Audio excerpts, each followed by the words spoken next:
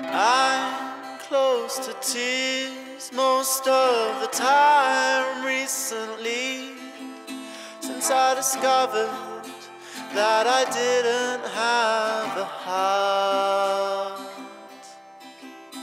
I've been thinking and pushing, chasing and looking, working things out with my mind and my gut.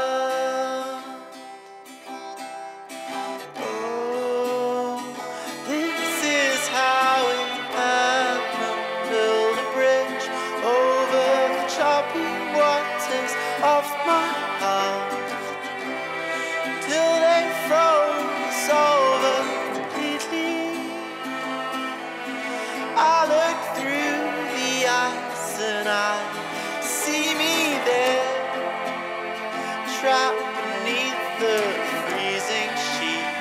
I've locked myself away without air to breathe.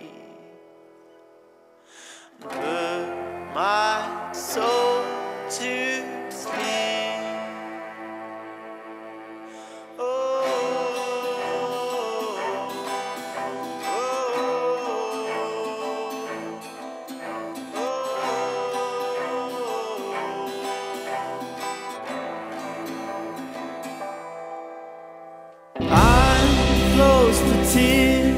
most of the time recently.